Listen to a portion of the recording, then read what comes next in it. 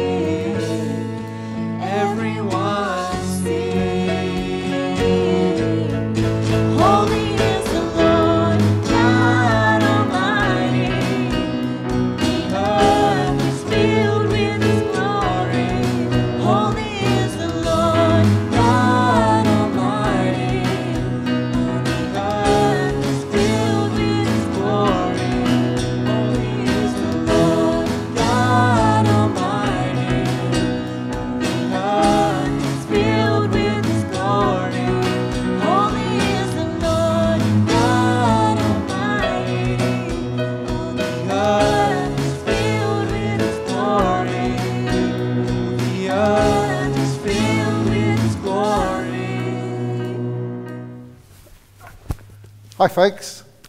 It's uh, great to be with you again. You know, one of the uh, great features of St. John's is the, uh, the stained glass windows.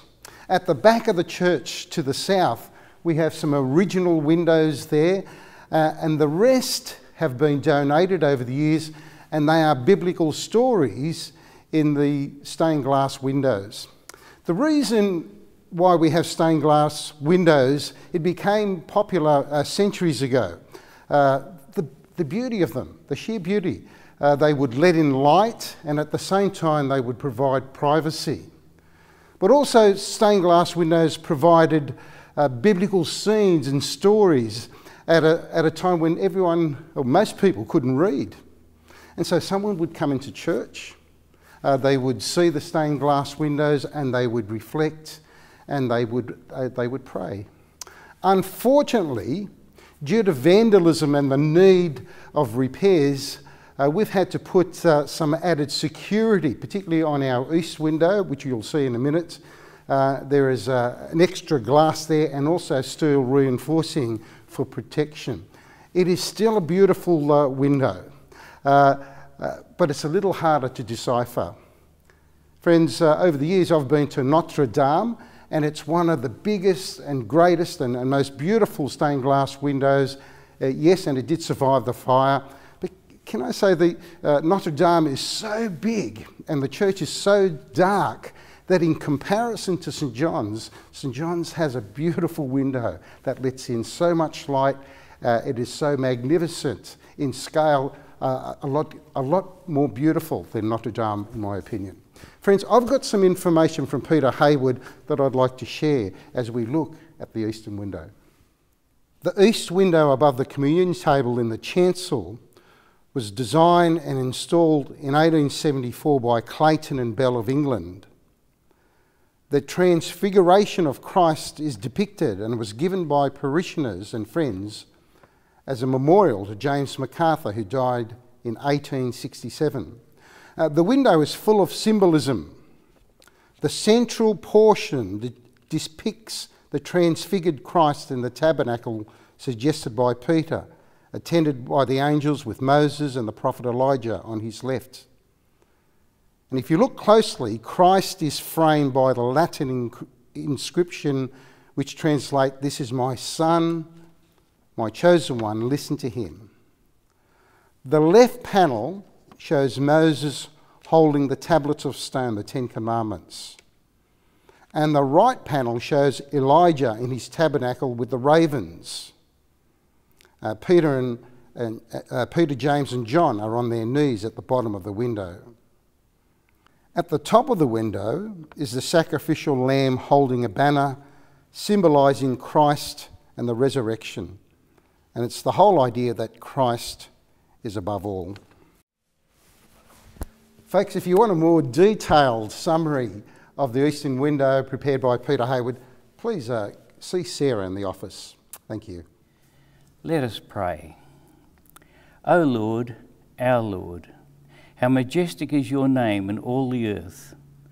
As we observe our world today, help us to see your mighty hand at work.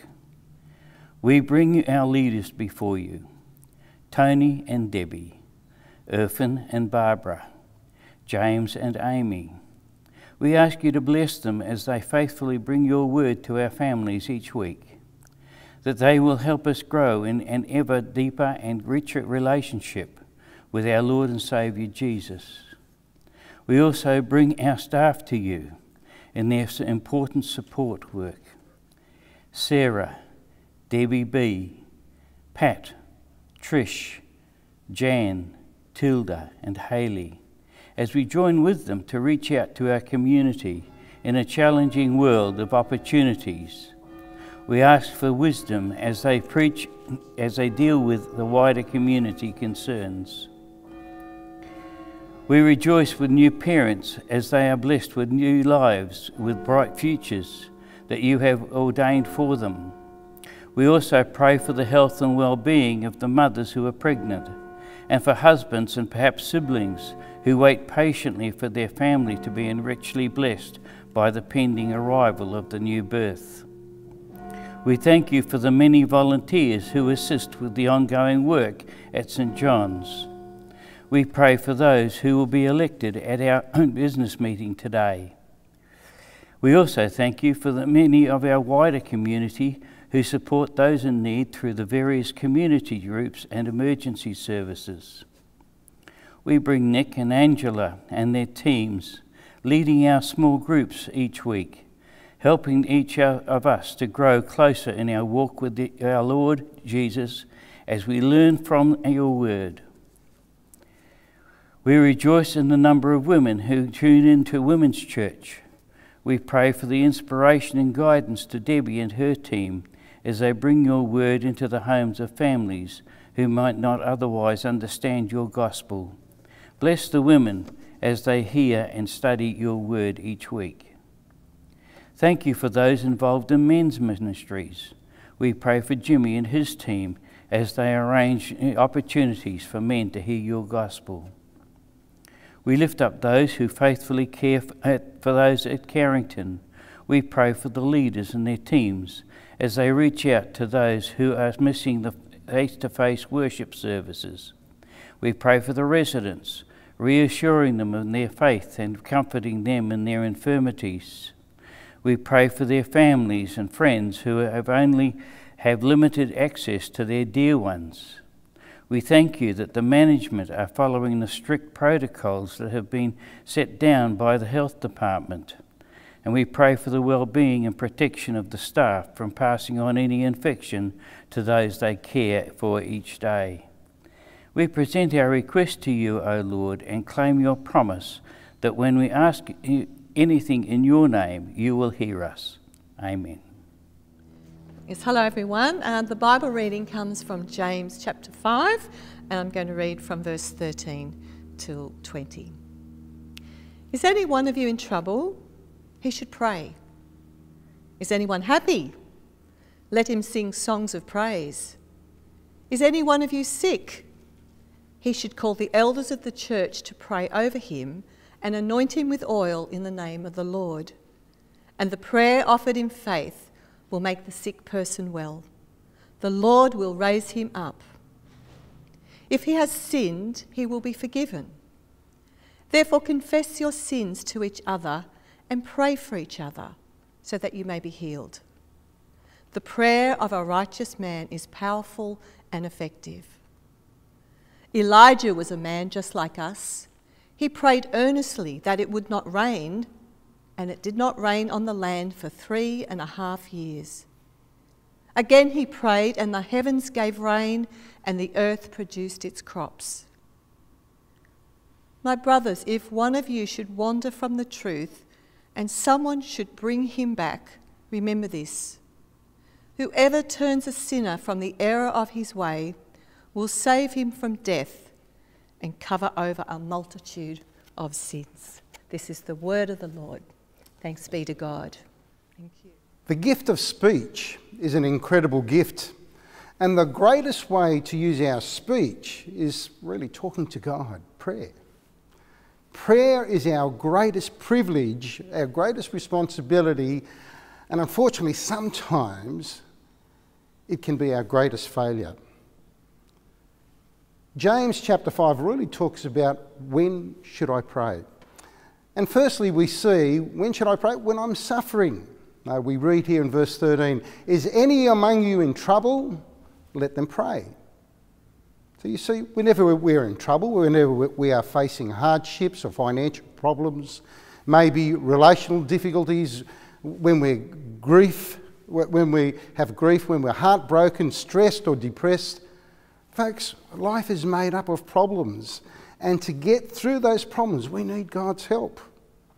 It's interesting, the passage just before um, uh, verse 13, verses 7 to 12, we, we are told by James we need to be patient in our suffering. And James cites the prophets and Job, who were patient in their troubles in the face of suffering and persecution. You know, it would have been easy for those guys to curse God, to complain and grumble. And that's what actually Israel did after God had rescued them uh, from slavery and from, uh, from Egypt. Sometimes Christians can use the mentality of, why me? and so we whinge, we moan, we grumble, we complain, we criticise, which in some ways is a great misuse of the tongue in our speech. When we are in trouble, James is saying, pray. we need to exercise self control. It's easy to lash out in anger and curse uh, with malice because uh, we can't control our troubled situation. But prayer can remove suffering if it is God's will. but prayer can also give us grace to endure that suffering so that we might achieve His perfect will, which is to be like Jesus.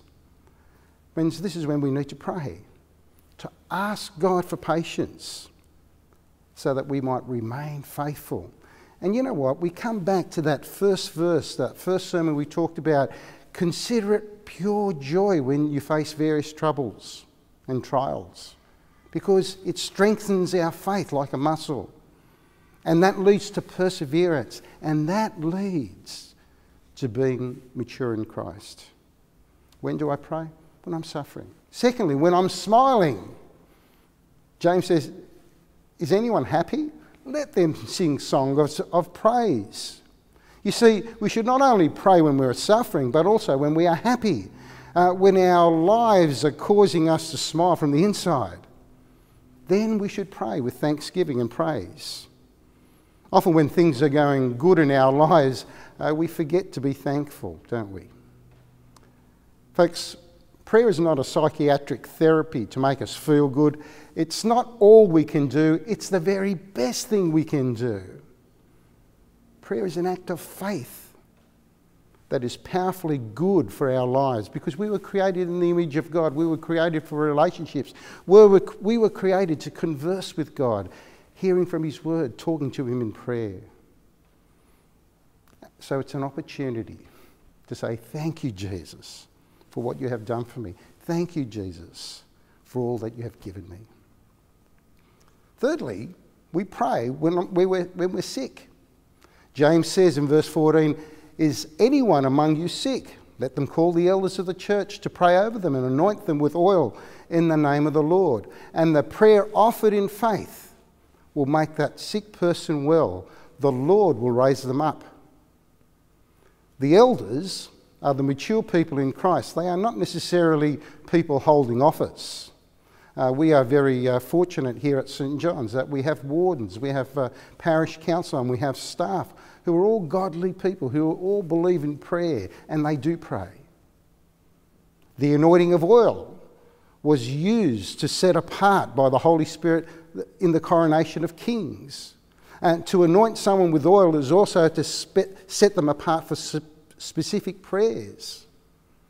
Oil was also used for medicinal purposes one of the uh, conventional uh, medicines of the day. So we ought to pray to God that God will use conventional medicines or even use his divine interference uh, to bring about healing.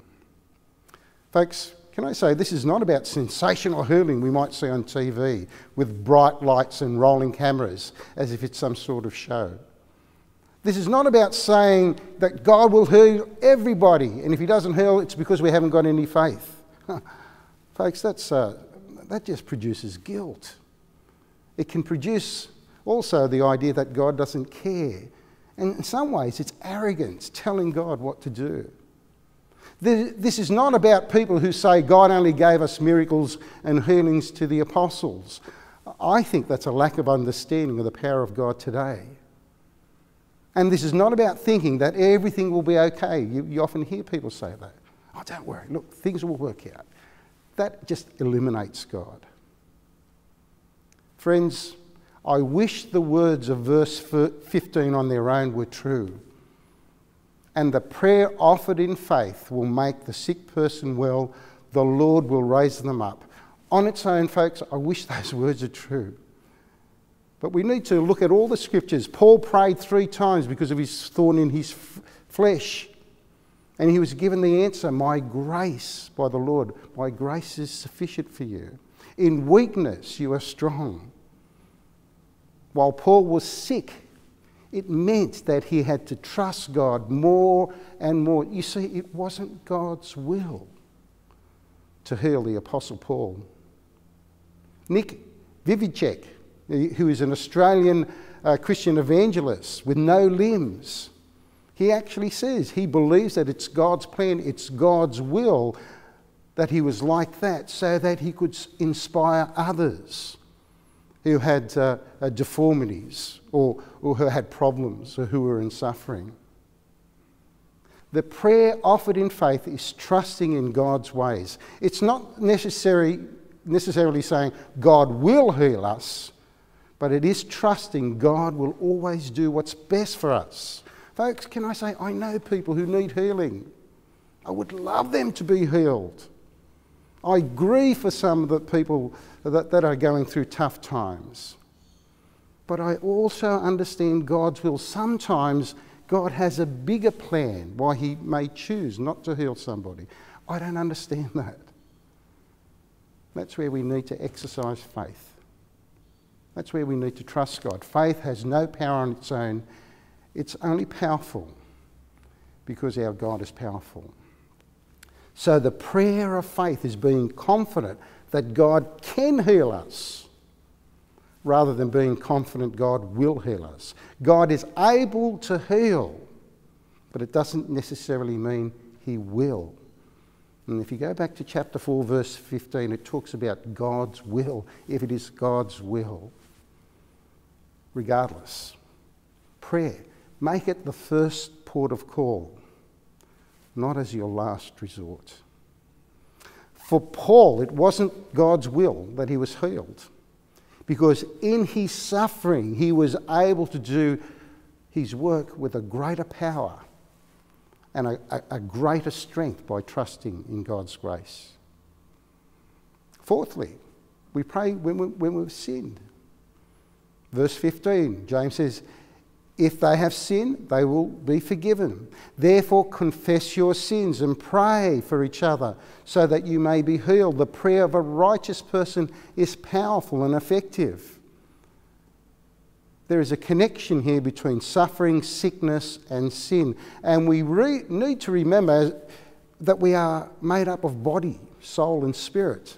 The body is that part of us that gets physically sick or physically sore.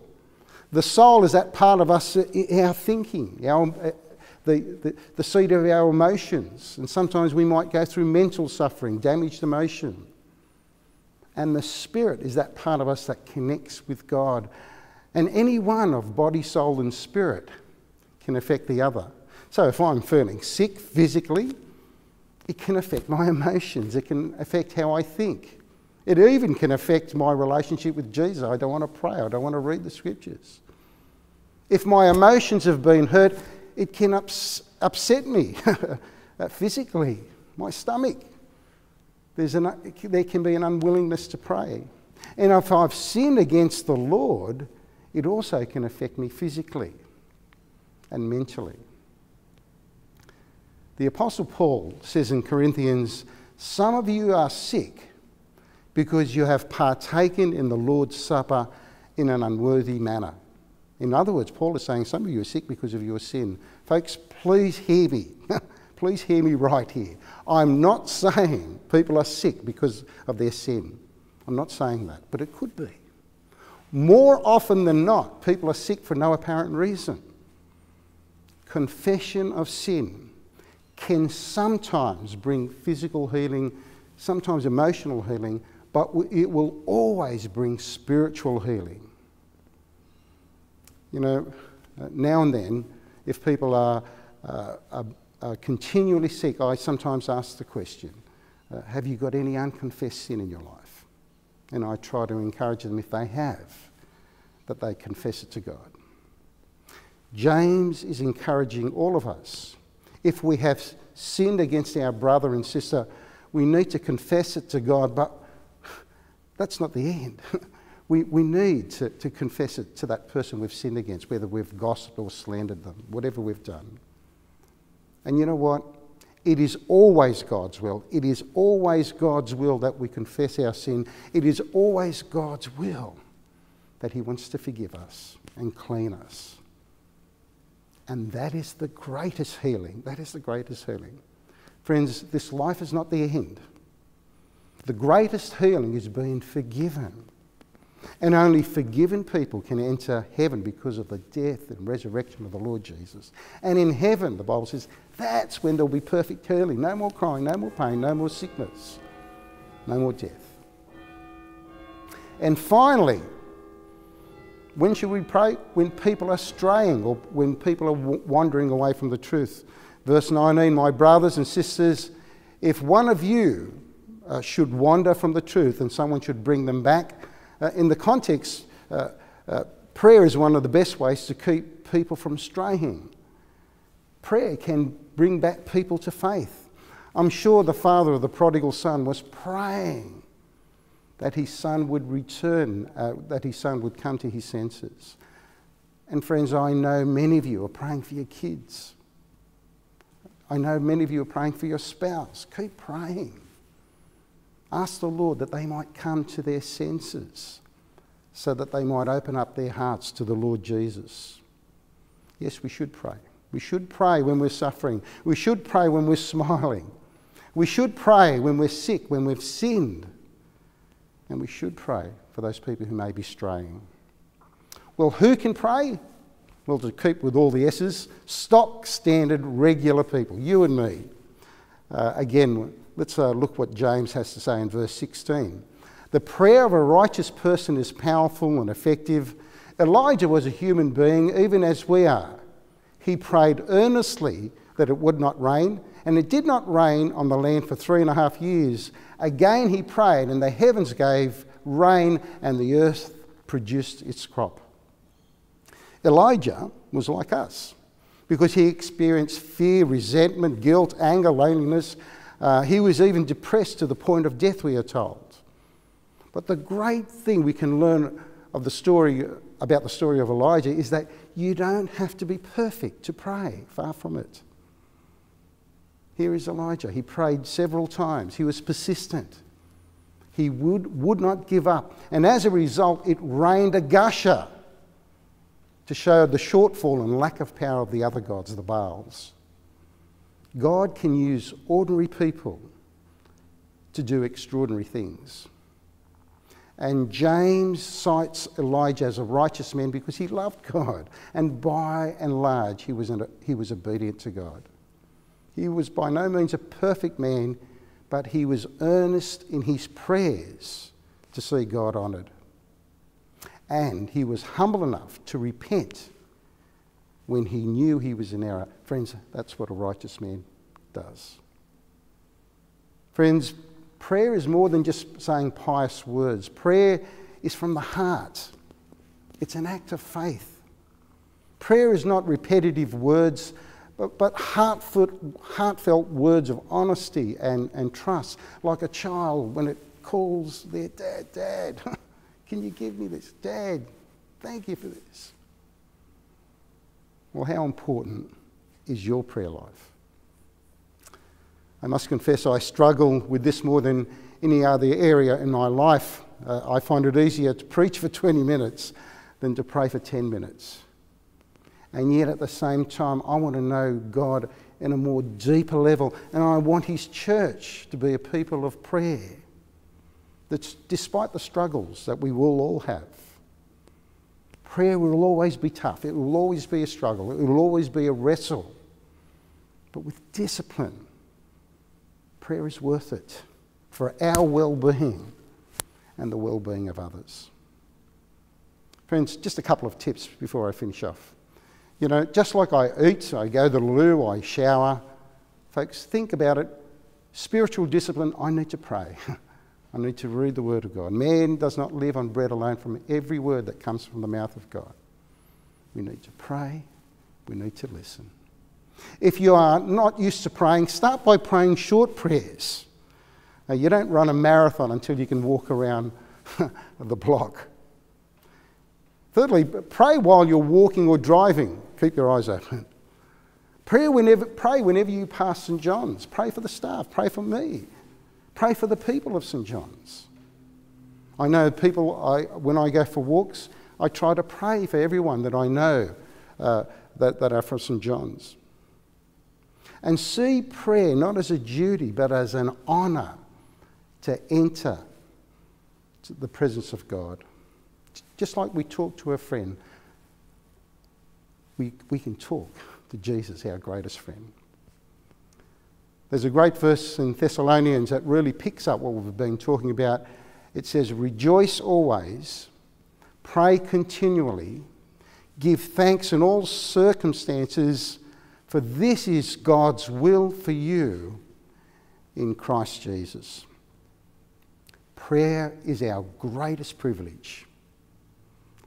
Don't let it be your greatest failure. Friends, right now, uh, Debbie Bannister is going to talk about when she prays and what she prays. Thank you. Okay, thanks, Tony. Um, been asked to say, why do I pray? Well, Well, because my relationship with God is so important in my Christian life. And I love spending time with God in prayer. And throughout my prayer, I know I will continue to grow, and He will grow me in my faith and my trust and everything in my good times and my bad times. I can pray anywhere, anytime, knowing that God always hears my prayers. As Tony said, anywhere, even when I'm mowing, I know I can pray and I can talk to God, and He will hear my prayers. And I know it's His timing, and He answers His prayers for the very best for me and for all His children. And I believe in the power of prayer. And the best way to have a deeper relationship with God is to have a heart for God, for His Word, and for praying. And also, praying to God and spending time with Him, I know pleases Him as His child. And what better way to start the day or to be able to end the day or wherever you find your best time to pray. But that is how I pray and why I pray and spend my time with God. And the other question, why do I, what, what do I pray for? Well, I start off with God's word, and it's always important to have God uh, speak to me and, um, yeah, just to hear what He wants to say to me for that day. And to praise God, for He is our Creator, He is my King, and He is my Lord. And the other important thing, as we've looked at through James, is confession. And to come to God with my sins, which I know He already knows, but it's so important to bring them and to confess them to Him because I don't want to have that barrier between God and I in our relationship, which is so important. And I know with that that He hears it and He forgives me when I come with a repentant, sincere heart. And always, I love to give Him thanks in all circumstances, but for His forgiveness and for all that He has done by giving me His Son, Jesus, who I'm always grateful for and always pray that I won't take for granted that relationship. His unconditional love for myself, my family, my church family, my friends, and how He always meets my needs. He is always there for me, and His promises He shall never leave me alone. I'm thankful for His grace, the gift of eternal life, and through Jesus' death and resurrect- resurrection, I have the great hope of heaven and eternal life. And they are so many things more that I could be grateful for, and I'm sure we can all find things to be grateful for. So then we come to the prayer requests, how we can pray for others. And for me is my family, my church family, my friends, our community, our world, especially at a time like this that we need to come. And God wants us all to come to Him in prayer. I pray for God's comfort, His strength, and that He'll draw near to not only me, but to those that are suffering physically, and for people that they will come to know Jesus, that those that may be seeking Jesus, especially at a time like this, and for others who have maybe strayed away from the faith, that God will bring them back.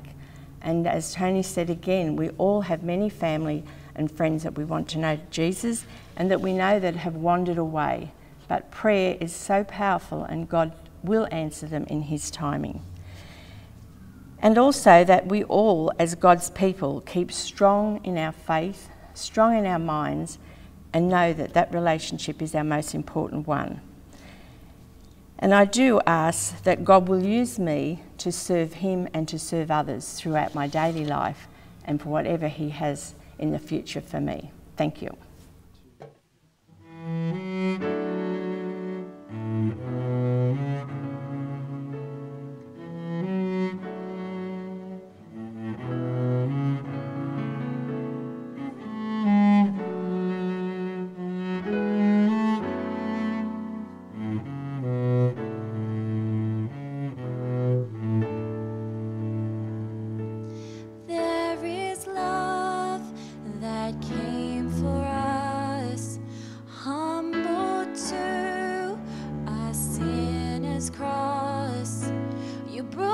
My shame and sinfulness.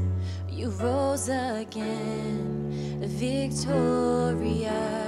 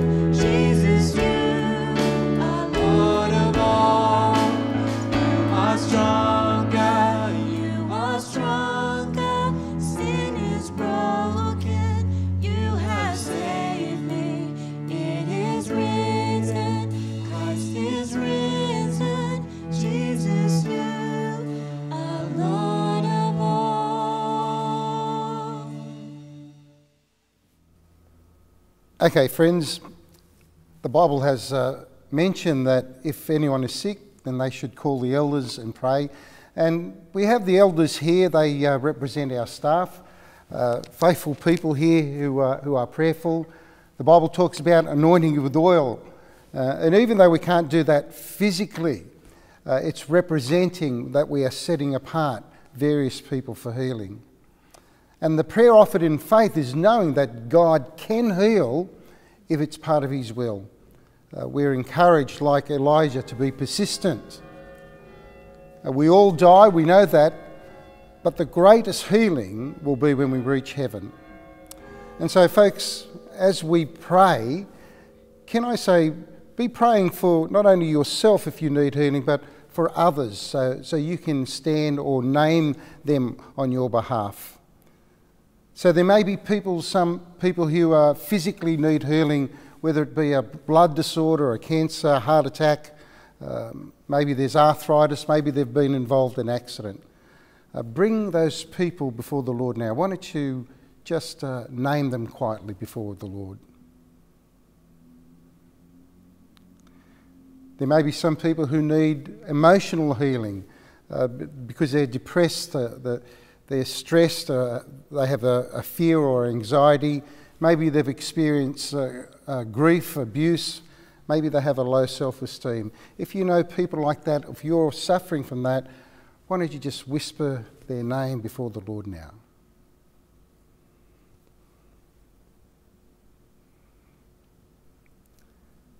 And maybe there's need of prayer for those people who are spiritually hurting. Maybe there be uh, there are people who have wandered, who have strayed away, as we've talked about uh, uh, today. There may be people who have forgiveness issues, can't forgive. Uh, maybe there's bitterness. With some people, there may be satanic influences that we need to pray against. There may be relational breakdowns with our kids, uh, with our, with our spouse, whatever the case may be. Why don't we name those people before the Lord now?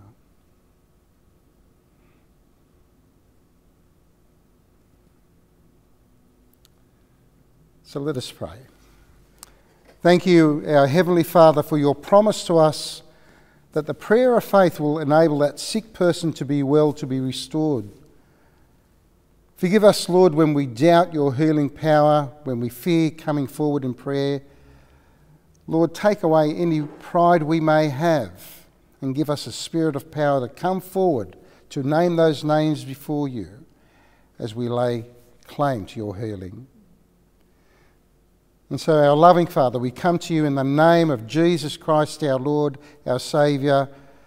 For these servants we have named who have a need of healing.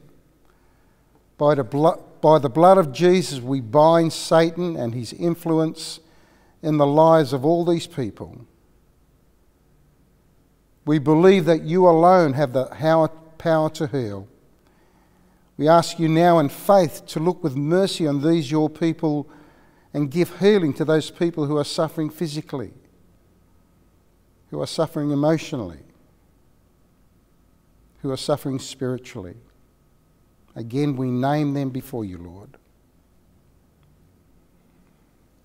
By faith, we affirm that you are now restoring, recovering, whether it be by sight or by faith. We thank you and praise your holy name through Jesus Christ our Lord.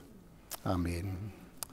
Friends, uh, thank you for being with us and uh, keep on praying for your non Christian friends. Keep on praying for those people who are not well. We're going to close our time together by saying the grace to one another. The grace of our Lord Jesus Christ and the love of God and the fellowship of the Holy Spirit be with us all evermore. Amen. Thank you, folks. We'll see you next week.